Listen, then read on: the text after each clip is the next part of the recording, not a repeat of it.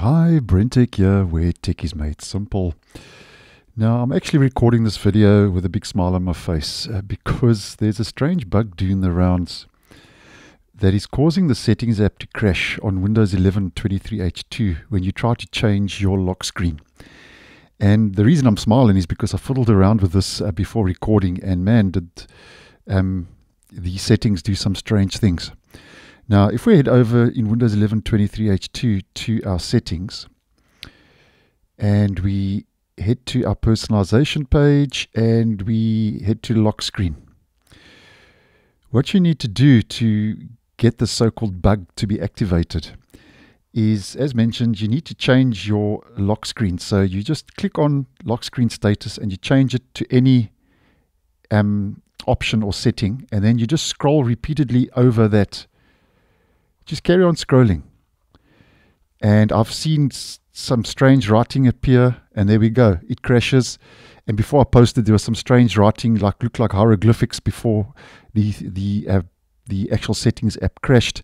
So just letting you know about that. And apparently, this was spotted over on Reddit, and even the latest uh, update we received uh, today or yesterday in my region for Windows 11 uh, 23H2. This also rolled out for 22H2. KB5039212 still hasn't fixed this issue and it's been around for quite some time. I only heard of it today, so I just wanted to put it out there. Uh, if you were experiencing this issue, where, as mentioned, head to lock screen, lock screen status, change the status, and then you just scroll. And you can see my little circle appears just carry on scrolling. And there we go, it crashes. So if you have experienced this, just letting you know about it.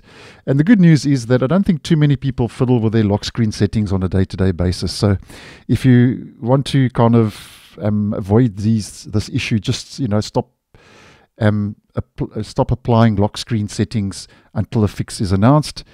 And uh, um, still no response from Microsoft um, for this bug and apparently it's only in Windows 11 23H2.